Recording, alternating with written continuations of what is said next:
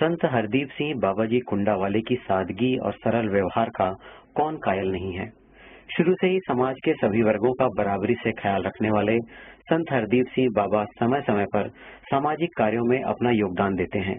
वहीं धार्मिक कार्यों के लिए भी हमेशा सक्रिय और तैयार रहने वाले कुंडा वाले बाबा जी की प्रसिद्धि दूर दूर तक है। पिछले दिनों अपने सद्व्यवहार और सामाजिक योगदान के लिए स्वामी शारदानंद सरस्वती जी ने भी कुंडा वाले बाबा जी का सम्मान किया था। वहीं गुरुवार को सेतगंगा के कलश स्थापना कार्यक्रम में पहुँचे मुख्यमंत्री डॉक्टर रमन सिंह ने भी संत हरदीप सिंह बाबा का सम्मान किया।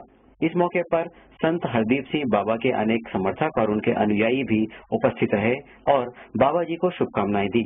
गौरतलब है कि कुंडा के प्रसिद्ध सिख परिवार से अपनी पहचान बनाने वाले संत हरदीप सिंह बाबा अपना पूरा समय कुंडा गुरुद्वारे के सेवा और मानव सेवा में गुजारते हैं। यही वजह है कि अपने जीवन को मानवीय मूल्यों के लिए अर्पित करने वाले बाबा हरदीप सिंह को प्रदेश के मुख्यमंत्री ने भी सम्मानित किया है।